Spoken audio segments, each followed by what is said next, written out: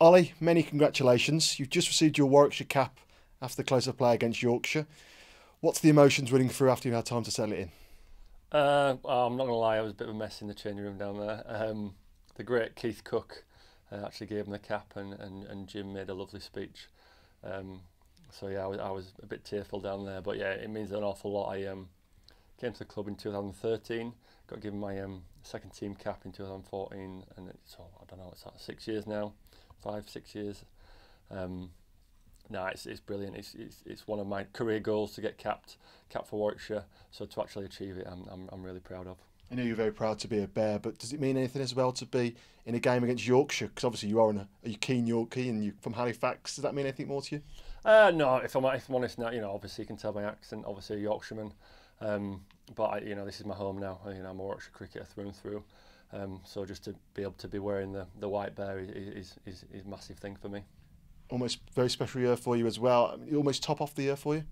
Yeah, I mean, if you'd have told me at the start of the year I'd have, I'd have played as much cricket as I have, particularly white ball, uh, sorry, particularly red ball, and to finish it off like this and get my cap is is, is amazing. So you know, I'm absolutely delighted. If you'd told me this was going to happen in um, sort of March time, I'd have bitten your hand off really. You joined some pretty special names in that changing room, but it's not about what you do on the pitch always. It's about how you conduct yourself off it as well. And you're a keen leader, like Dom Sibley, who got one as well. That's a big part of your game as well, it? Helping these young guys come through.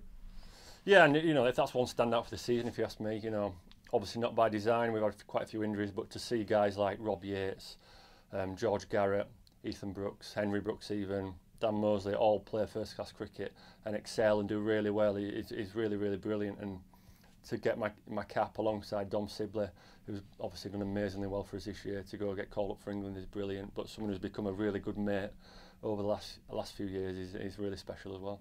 Any words from Sam Hain? We know you two are tight. Um, I think when Haney got his cap, we um, we had a few beers afterwards, so he was just keen to say, like, you know, let's make sure we celebrate tonight. So um, that's what I intend to do. And you mentioned some of those younger names. How much of a almost is it going to encourage them to, to get better? They'll have seen you and Dom get your caps. Hopefully, in six, seven, eight years' time, that's them as well. Yeah, hopefully. Like I say, I think that's one one big thing from this season. That these guys have now had a taste of first class cricket.